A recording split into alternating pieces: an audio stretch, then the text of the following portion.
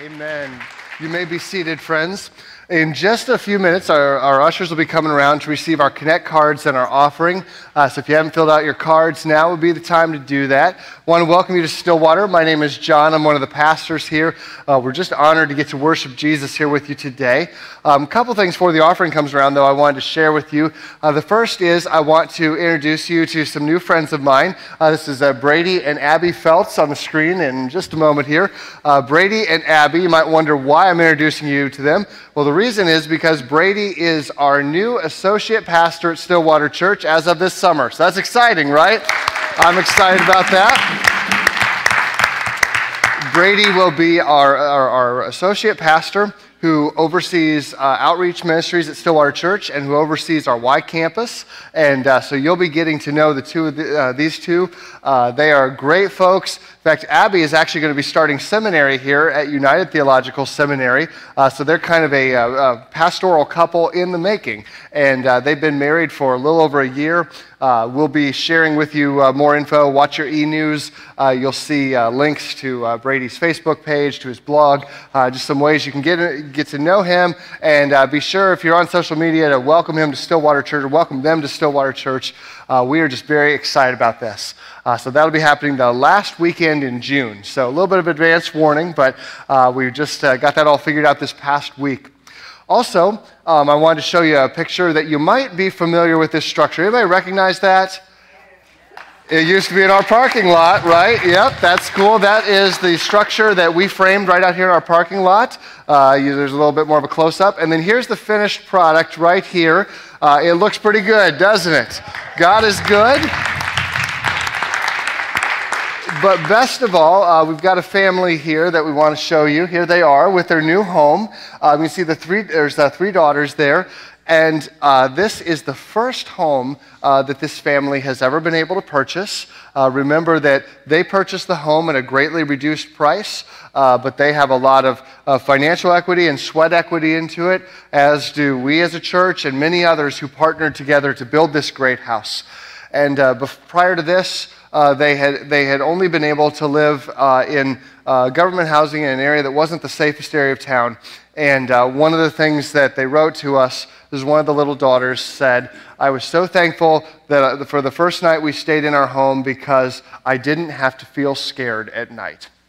I thought that was a pretty cool uh, reminder of how good God is. And I'm so thankful for each of you. You know, when you give financially here, when you give your time and your talents, God uses it to build his kingdom uh, in ways that are much bigger than what you and I will ever see. God is truly changing lives around the world.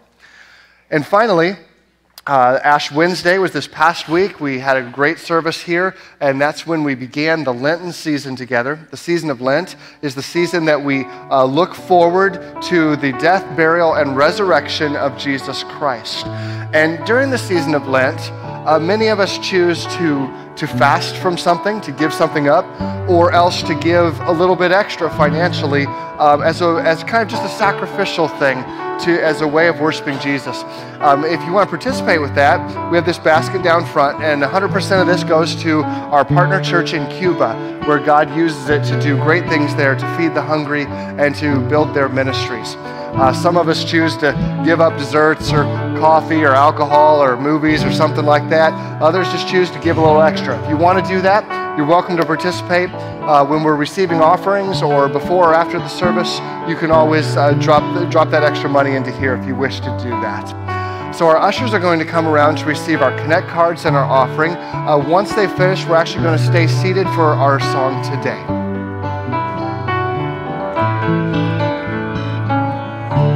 Amazing grace. How sweet the sound, amazing love, now flowing down from hands and feet that were nailed to the tree. His grace flows down and covers me.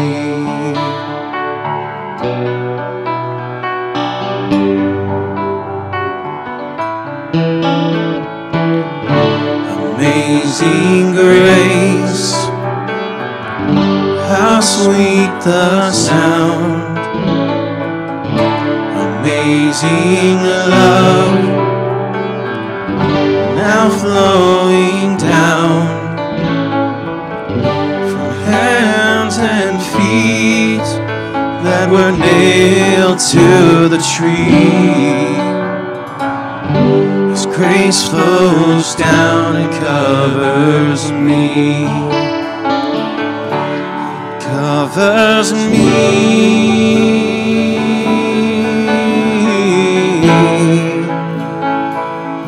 It covers me.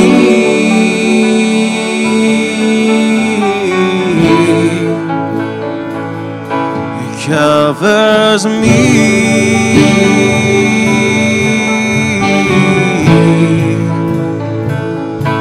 Covers me.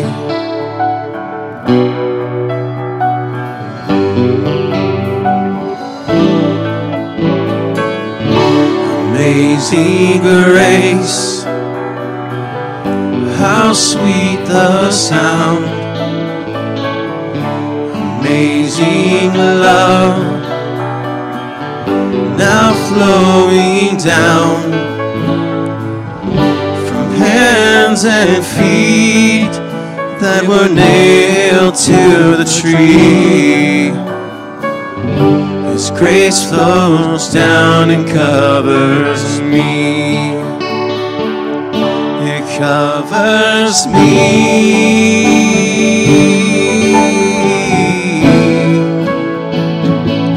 It covers me.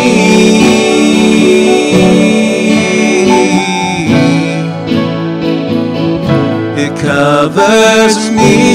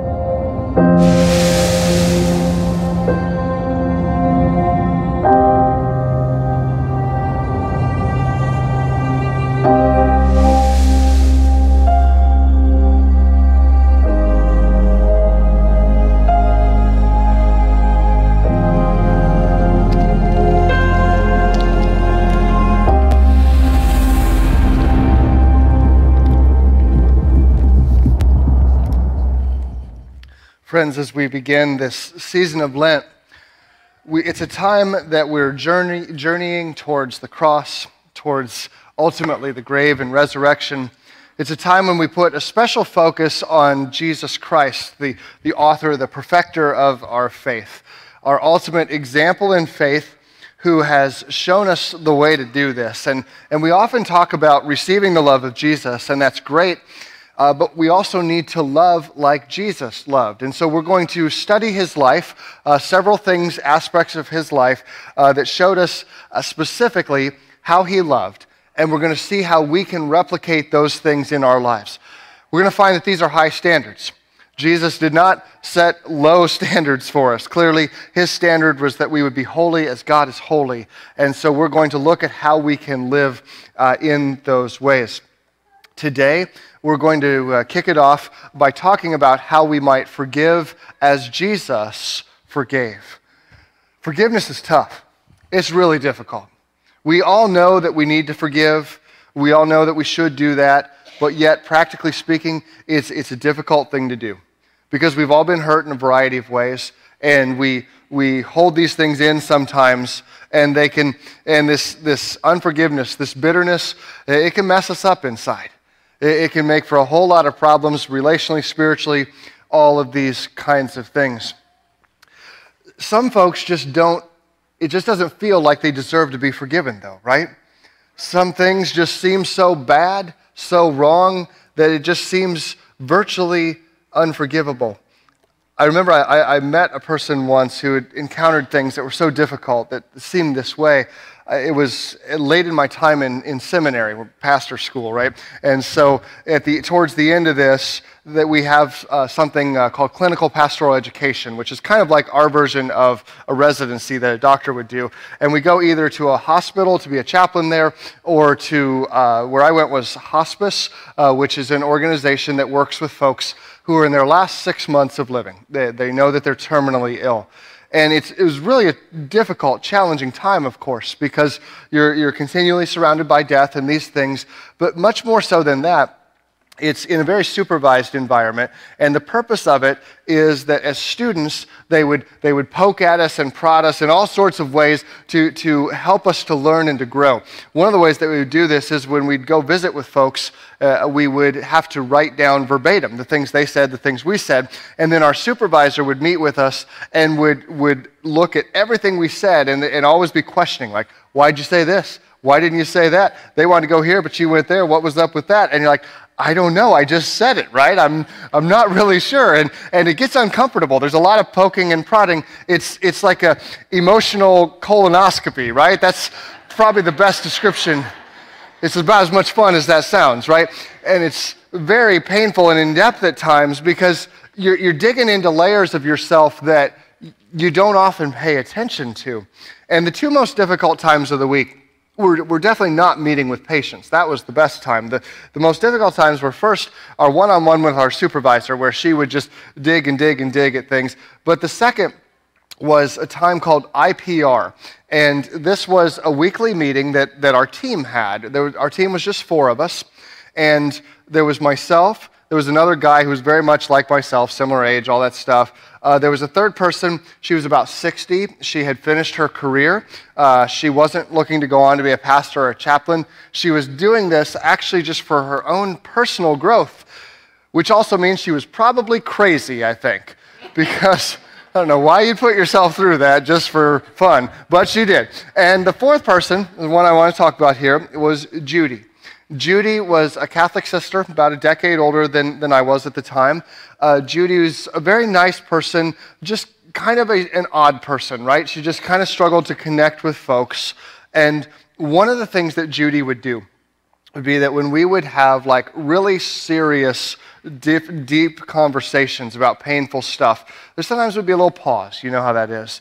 And during these pauses, instead of being silent, Judy would just start laughing. And it wasn't like an authentic laugh, it was like just a very awkward laugh. In fact, I, I, found probably the closest version of it I could find online, and we got a video of this. Here's about what it sounded like.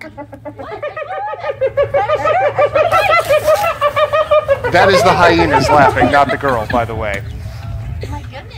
Okay? So we'd get in these deep, serious, painful moments, and she'd d- start doing this hyena laugh, and it would get on my nerves. I don't know if it would get on your nerves, but it got on my nerves, right? And I, I remember talking a little bit with the supervisor about it, not really that much. And then one day, it happened that we were in this IPR meeting, and that stands for interpersonal relationships. And I remember we had the first one of these, and our supervisor starts it off. It's just the five of us in the room, and she says, this is IPR. For the next hour, we will talk about our relationships with one another. And that's it. Now, I don't know about you, but that does not sound like fun to me, right? For, for some people, like for Judy, this was incredibly fun, right? And so she talked most all the whole time, right? So the rest of us just sat back, like, okay, this is easier, right? But Judy began to tell these stories, and they were painful, difficult stories about her father, I should say her father, growing up, because this man hardly deserved the title of father. Her, her, her, her, her dad was someone who treated all his children just, just atrociously. Uh, he wouldn't work, he didn't provide for them. Uh, he was very lazy, intentionally lazy. Uh, he was someone who would abuse them in uh, every way imaginable. Just an awful, awful person. He was, quite frankly, it would be better to call him a sperm donor than a father because he did not contribute to the life of his kids in any positive way. And she would tell these stories, and, and they were so difficult to hear. I just, I, I remember just feeling anger just welling up inside of me towards this man who I didn't even know this guy, right? But I just feel this anger coming up because my wife was pregnant with our first child at the time, and I was connecting with this stuff, and it, and it just irritated me so much. And she was telling once this story in this IPR meeting about how she, she figured something out about her dad as she got a little older that he had a pattern that he would go out drinking at night and he would come home very late, the middle of the night, just, just drunk as could be, and he would come to her room and he would molest her. And Judy figured something out. They had in their house, they had a spiral staircase that led up to the attic. And she found that if she would climb up this staircase and take her pillow and her blanket and she would sleep in the attic. That when her dad came home, that he would try to climb the stairs, but he couldn't make it. He'd be so drunk, he'd pass out drunk on the stairs, and he couldn't hurt her. And I remember hearing this story and feeling so angry, so deeply angry. And our supervisor could tell that I was feeling angry. And she said, Well, John, how do you feel about this? And I was so I, I just felt like I couldn't say anything because I was afraid I would say the wrong thing, something so hurtful to her. And, and I paused, and she did that laugh, and then that just made me even feel more angry about the situation. And I said, I feel sad. She said, Okay, how else do you feel? I like, I feel sad. And that's all, that's all I could bring myself to say. I thought I would gotten out of that moment, but then when we later had our one on one meeting, she started poking at me more, as you'd imagine she would. She's like, I think you felt more than sad. What else did you feel? And, and I, I said, I felt mad. And she kept poking and poking. And, and finally, I just lost it. I was so angry. This man that I've never met, probably will never met. And I remember, I remember just exploding and just saying, I hate her father. I can't stand that guy. I can't stand the stories about him. He's not a dad. He shouldn't ever have been able to have kids. He's evil. It's wrong. Who in the world would ever bring children into the world and do that to them? There's no excuse for that. Tears were just running down my face. I was just so angry. And it hit me that forgiveness is so hard. If I who is not the one violated in this situation, was struggling so hard to forgive. How much harder is it to forgive if you're Judy? And some of you are Judy, and you know what that's like. Others of you, you've been through situations like this. You've been hurt so bad in so many ways. And for others, maybe it's not something of that kind of magnitude, but there's so many things that cause hurt and pain in our life the day in day out. The person that you just they just get on your nerves and they just know it and it seems like they're always poking at you and always making life difficult for you. And we struggle to forgive. It's one of the greatest struggles of being human. And so we look at jesus christ. Say okay i'm called to love like jesus. What does that look like? How would i forgive like Jesus? Well, friends, let me tell you, he sets the bar really, really high. So be ready. Matthew 6 14. If you forgive those who sin against you, your heavenly Father will forgive you. But if you refuse to forgive others, your Father will not forgive your sins. Ouch. That's, if that doesn't make you squirm a little, you're not paying attention. Because, friends, all of us, I'm betting, have struggled to forgive at one point or another. In fact, I would bet the majority of us could have a face in our mind right now of somebody or somebodies that we are struggling to forgive. We know what this is like. We know what this is like. And we want to say, how on earth are we supposed to forgive these people? I don't want to forgive Judy's stupid dad. I don't want to forgive that kind of stuff.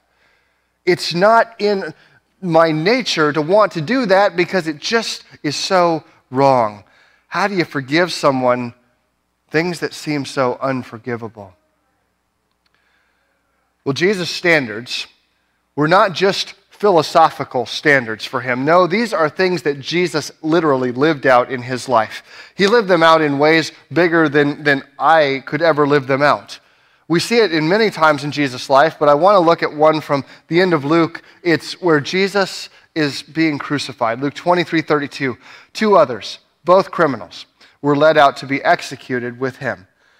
When they came to the place called the skull, they nailed him on the cross. And two criminals were also crucified, one on his right, one on his left.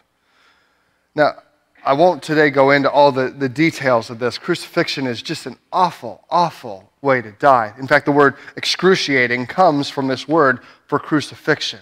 Just the most excruciating death a person could ever imagine.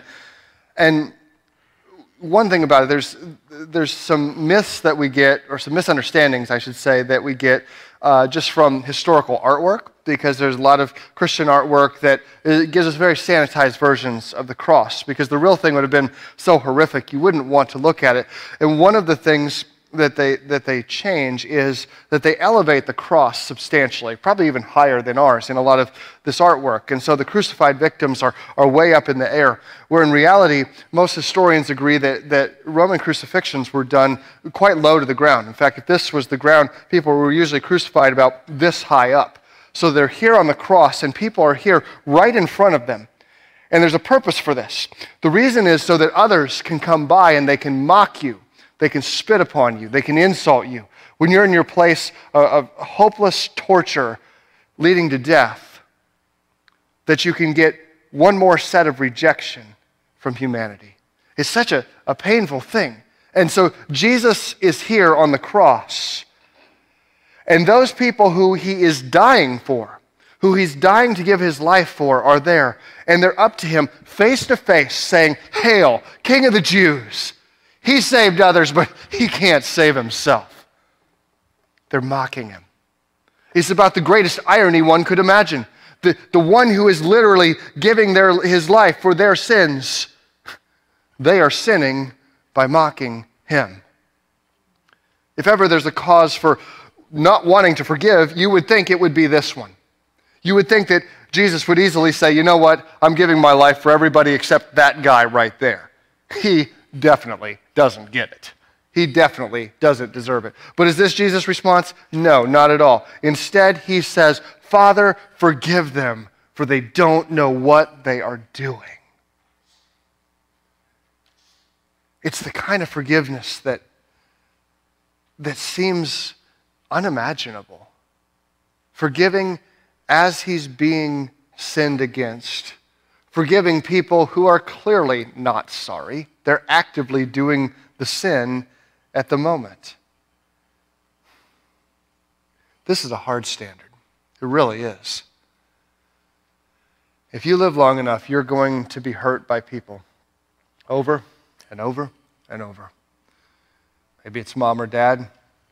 Maybe it's a boyfriend, girlfriend, uh, a spouse, an ex, uh, your children, your boss, your coworker, the company that let you go unfairly, the, the people who gossip with you or gossiped about you, people who lied about you, people who hurt, who hurt you in just unspeakable ways. You might find yourself even mad sometimes not forgiving towards God. Because sometimes we have anger towards God, and it's fair to be angry with God. There's, it's okay. But but it's bad when we get stuck in a position of unforgiveness. Why didn't God do something? Why didn't God stop? There's stop these things. There's not always easy answers, right, friends? Because God gives people free will, and I like free will a lot when I'm getting to use it in my own life, but I hate it when other people use it badly against me. Unforgiveness is, is, is tough. And sometimes we struggle to forgive the one who may be the least forgivable in our lives. And that's our own self. Because we know what we've done. Others may not know, but we certainly know. And even though we know conceptually God's forgiven and others have forgiven, it's so, so difficult. How on earth are we supposed to forgive like Jesus forgave? Well, Jesus gives us a, a couple of steps that I want to look at. There are two steps that are very simple to state and very challenging to live out. But, my friends, by the power of the Holy Spirit, you can and you will forgive others if you do these things on an ongoing basis in your life. You can find freedom. You may have been chained up for years by bitterness, pent up anger, and unforgiveness. Friends, I want to extend healing to you in the name of Jesus Christ. The first thing that Jesus did, how do we forgive like Jesus? First, you pray for those who hurt you. Pray for those who hurt you. And maybe you're saying, huh, a pastor thinks I should pray. Shocking, right? This is amazing, right? But seriously, this is an essential step because God does incredible things when we pray. God changes others, God changes us. God calls us to do this. Luke 6:28 Jesus says this, "Bless those who curse you, pray for those who hurt you." Let's be honest, this is hard, right? I mean, some of us are here saying, like, hey, you know, I'll pray for them, all right.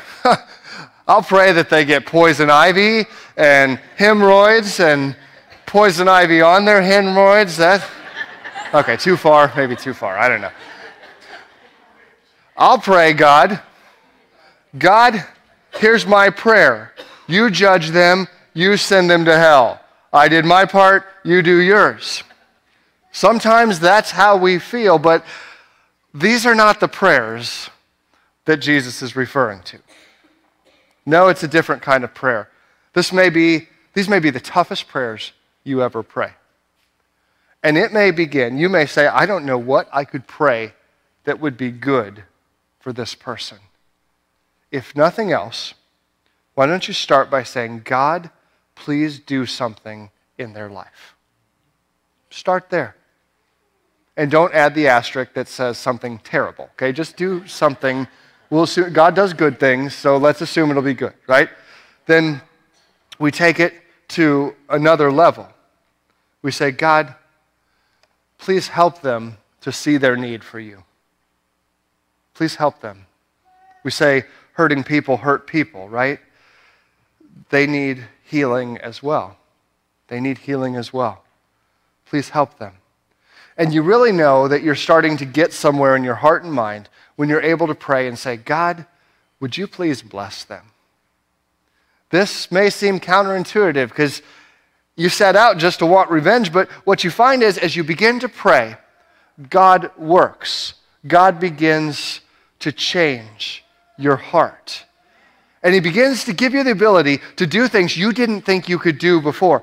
Like Jesus was talking once about enemies, right? He said in Matthew 5:43, "You've heard that the Jewish law says love your neighbor, that was the law." And then people would add, "Hate your enemy," right? You love your neighbor, but but enemies whatever. Don't worry about them. But Jesus said, "I say to you, love your enemies, pray for those who persecute you."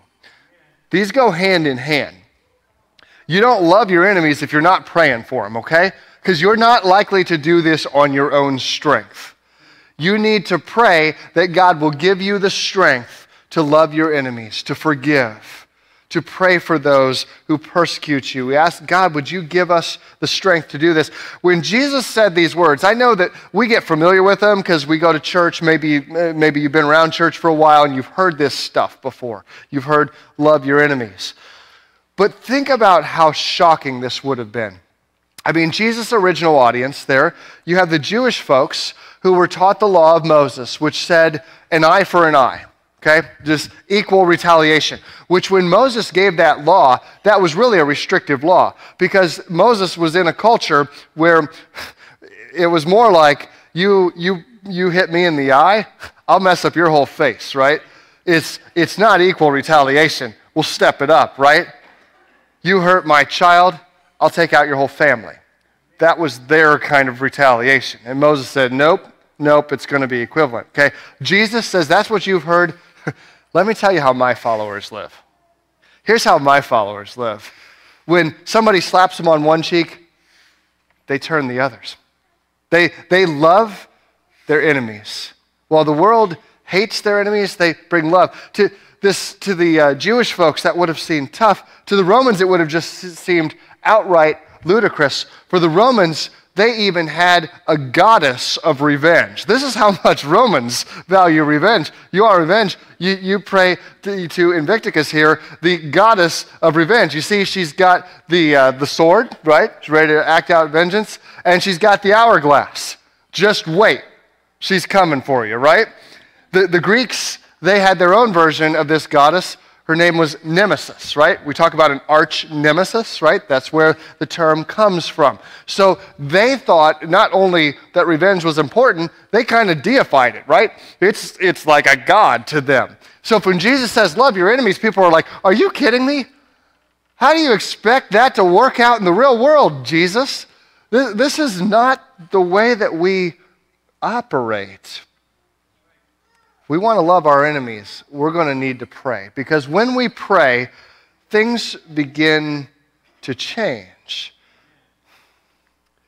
And I want to be able to tell you that your enemies will change and they'll come around and they'll be great. And maybe they will, but maybe they won't. What I can tell you for sure is that your prayer, your prayer for others may or may not change them, but it will always change you. Your prayer for others, it may or may not change them, but it will change you. It's really hard to hate someone when you're praying that God will bless them. This may take some time. Every time those feelings of bitterness, unforgiveness, hate seep into your life, you're going to say, God, do something for that person. Do something good. Bless them. Help me to learn to forgive. And if your next thought of unforgiveness comes 30 seconds later, you're going to pray it again and pray it again. And maybe a daily routine for you, maybe an ongoing thing. It may take, it will take days, weeks, maybe months. Maybe you've been holding this in for years, it's going to take some time. It may take the help of a counselor, it may take the accountability of your community group or a friend. Do it. Do it. Be courageous to love like Jesus loved. And that begins with praying for our enemies. The second thing we do, we pray for them. And second, we forgive as we have been forgiven. If you thought prayer was tough, well, it's going to get tougher here you need to pray first, okay? Because this is really tough. We forgive as we have been forgiven. Colossians 3:13 make allowance for each other's faults and forgive anyone who offends you. Remember, the Lord forgave you, so you must forgive others. Now, this is not the world's standard. The world's standard is forgive those who are sorry, forgive those who have made things right, or maybe forgive after you've gotten your retaliation. This is the world's standard of forgiveness. And Jesus says, nope, nope, not how it is for us. Not how it is for us as followers of Jesus. Instead, we forgive because we have been forgiven.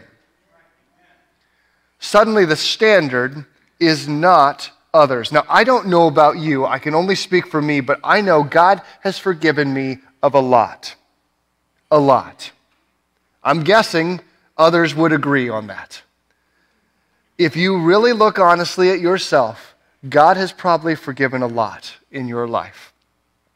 So that means I'm called also to be very generous in my forgiveness of others because I'm thankful that God didn't give me all the stuff I deserve.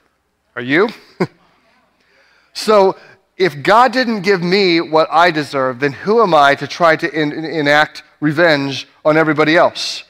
Because God is the one who never sinned. I've sinned plenty of times, countless times. If God chose to forgive me as an act of grace and love, so that's how I'm called to forgive others.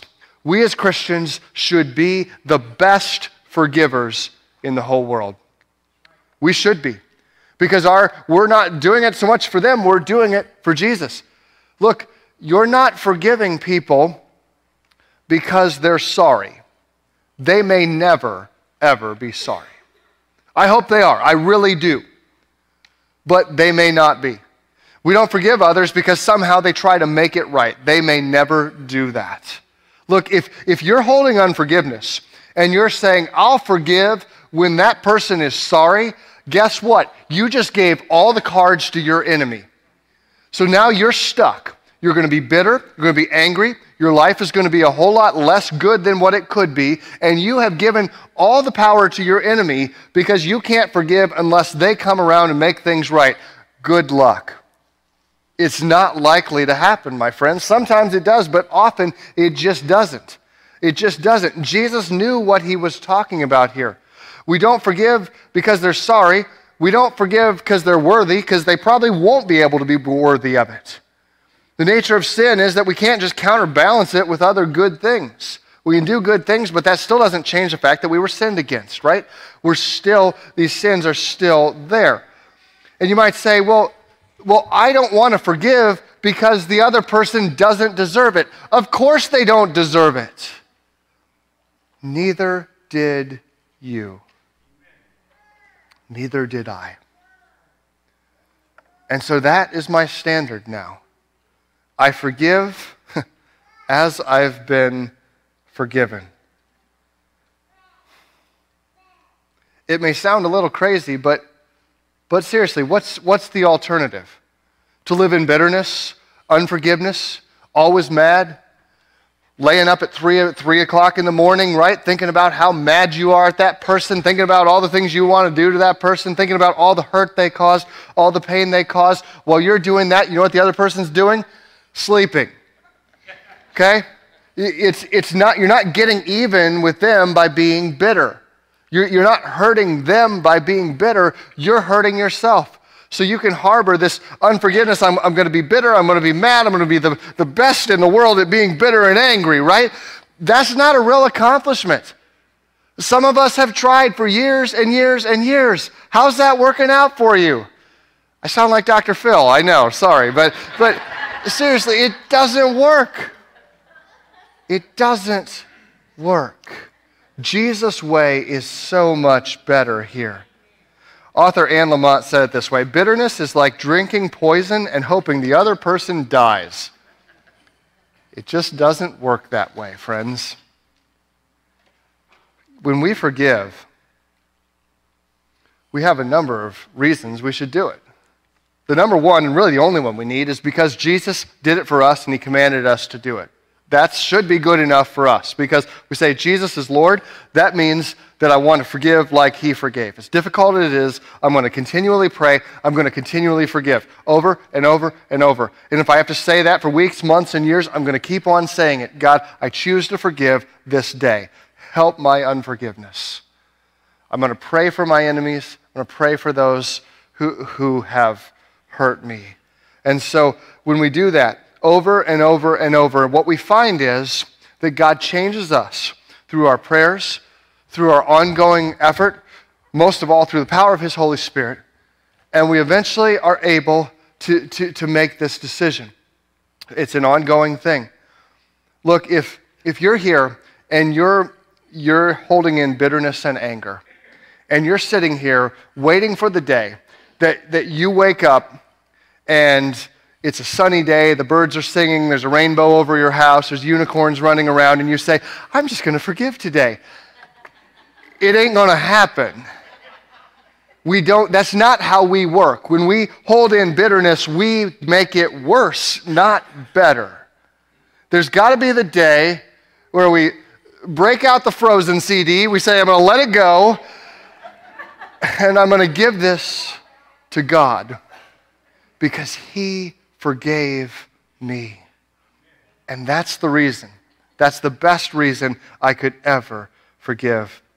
I read a story of a man who they had suffered something terrible in their family. It was many years before. They didn't know about it, but, but one of the girls in their family had been molested by a, a school teacher uh, for an ongoing period of time.